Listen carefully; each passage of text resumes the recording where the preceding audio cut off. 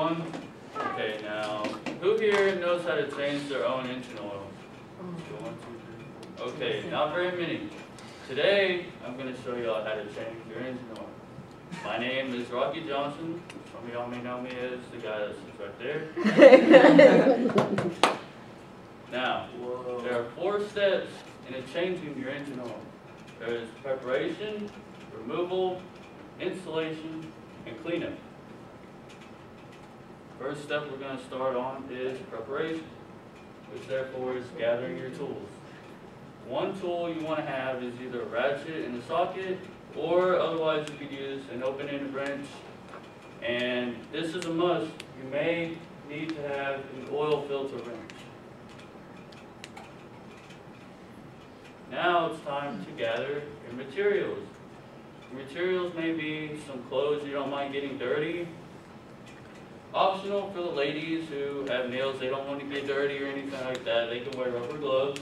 You need an oil catch or a recyclable container. A funnel to where you can pour the, in, the oil into the engine. A new oil filter, the correct oil for your engine, and a clean rag. Now the second step is removal. First thing you want to do is drain the old oil from your oil pan. And the oil pan is located under your engine block. There will be a little drain plug that you will undo. but be careful if you've been running around in your car or truck that whole day, you don't want to change your oil because your oil will be scalding hot. Because I've done that before and it's not fun. so after you remove the plug, if you don't want oil in your hands or anything, you hold the plug there, pull real quick, and you let it drain into the oil pan, or the drain pan. Next thing you want to do is remove your oil filter. This is where the oil wrench comes in. All you do is put the circle into the oil filter, uh, about, around the oil filter, close it tight, and just start turning it. That loosens the oil filters where you can loosen it. The third step is installation. Now, first thing you want to do is put your oil filter in, because if you put your oil in first, all the oil is just going to pour, pour out of the hole. So what you want to do before you put it in, get some of the old oil, wrap it around that seal so it gets nice and tight whenever you screw it in.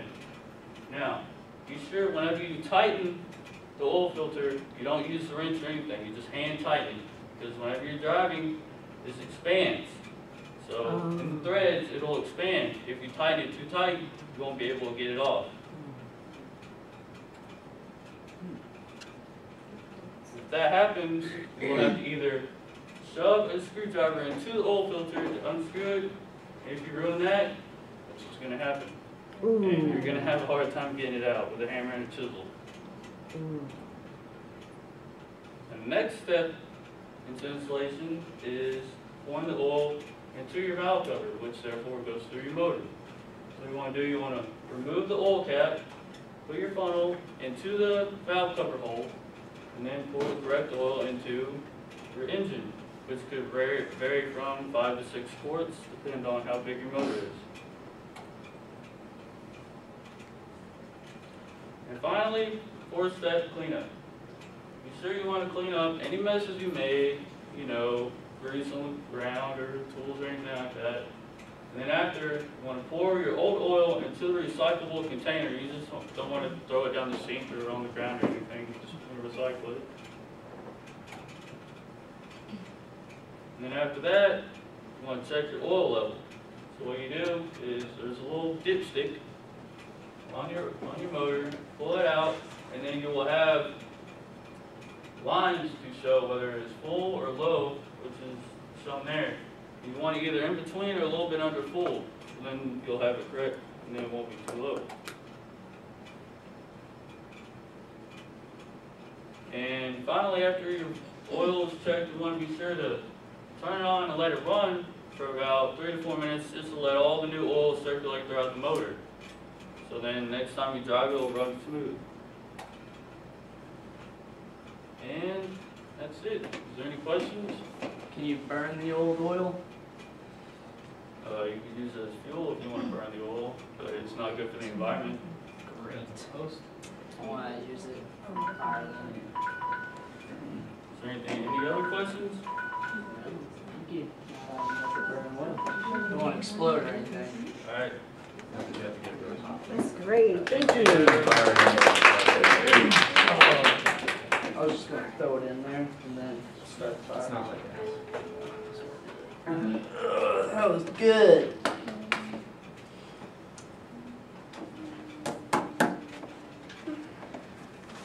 Appreciate that. I got my grade.